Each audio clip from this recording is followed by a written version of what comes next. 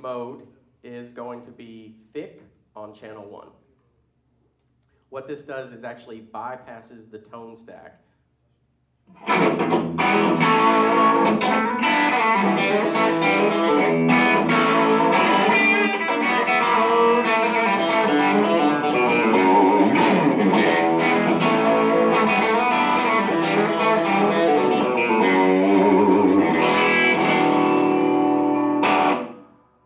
Now on to the second channel, girth.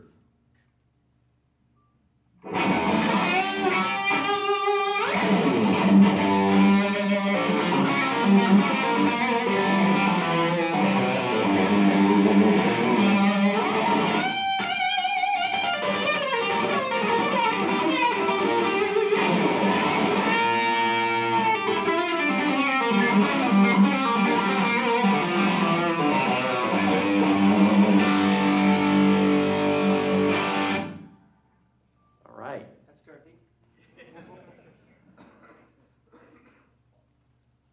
So let's give a hand to Brian for that.